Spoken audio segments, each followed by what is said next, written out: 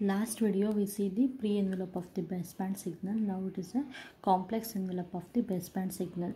The idea of the pre-envelope is applied to the all real valued signal. It have to be a low pass or a band pass. The only requirement is the signal should be a fourier transformable. Let's consider the band pass signal is denoted by the s of t and its fourier transformable is denoted by the s of f. We assume that the fourier transformable of s of t is contained with of a band of frequency of total extent is types of omega centered at the some frequency that is carrier frequency plus or minus fc is as shown in the figure here centered about the band pass is fc frequency and the bandwidth two types of omega is small compared to that of the frequency carrier frequency. The bandwidth is small compared to that of a uh, frequency signal then that type of a band pass signal is called as a narrowband signal. Here the figure shows the spectrum of the signal that is the magnitude spectrum of the baseband signal.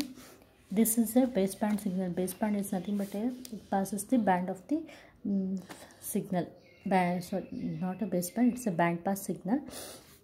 Particular band of frequency that is a it has a frequency of uh, center frequency fc and it is a bandwidth of two types of omega. And the magnitude spectrum of the pre-envelope we can call it as a s plus of t we know that the magnitude spectrum we will get the two types of s of f only. Here the frequency is only the positive frequency we will get the frequency value. So here the magnitude spectrum of the complex envelope signal. The magnitude spectrum of the complex envelope is s tilde of t here if we apply to the Fourier transform that is we get a, in the spectrum we get a s tilde of f.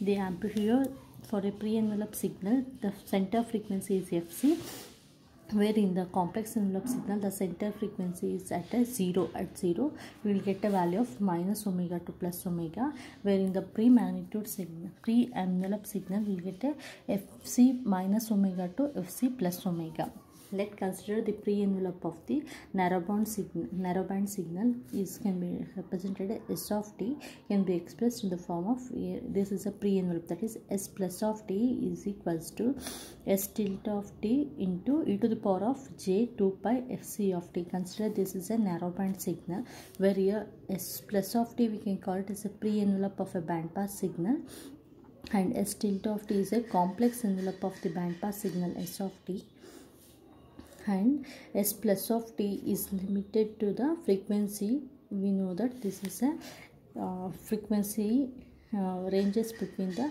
fc minus omega to fc plus omega where s cap s tilde of t is mapping of the band pass to the low pass signal where s, s of f is centered at the s of t is centered at the origin and correspond to the band of the frequency is minus omega to plus omega as I explained in the spectrum only.